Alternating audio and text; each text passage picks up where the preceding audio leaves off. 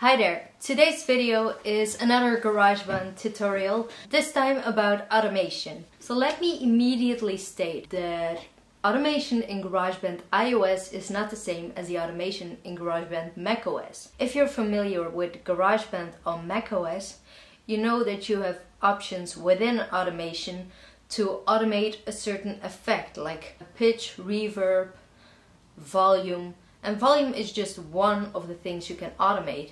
However, for GarageBand iOS, automation solely exists for volume. So how do we even get automation to show up in GarageBand iOS? Don't tap your track to see the menu. Tap the little icon of your instrument. So in this case, our microphone. We're gonna tap that. Then we see the menu pop up. We see automation. There you go. But this is solely for volume which means in order to get an automation effect, which I have already done here, just to show you, because it took a long time to get it right, what I did was I duplicated this track, the first audio track you see, I copied and pasted to a second audio track I made, and that second one had the exact same settings.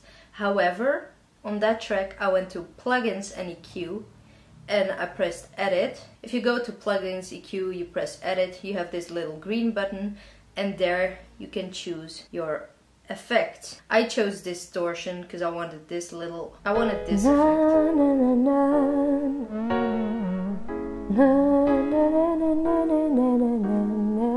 It doesn't really sound good, but it's just to show you guys how to do it. That is how you use a plugin, besides the one that are the default.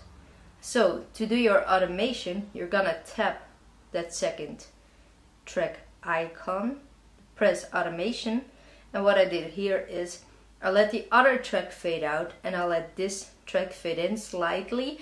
I also turned down the volume a bit because this track is really loud. The distorted track is really loud.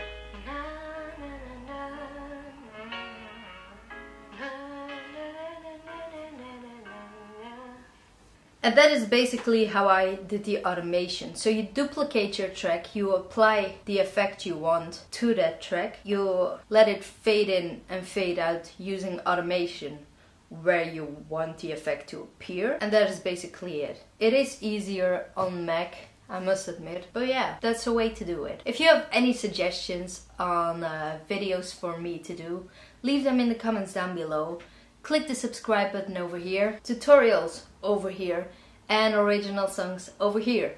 This is my cat. She's the cutest little bastard.